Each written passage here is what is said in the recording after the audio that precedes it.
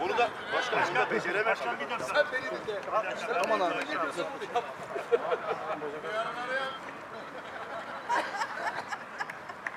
Şöyle yap.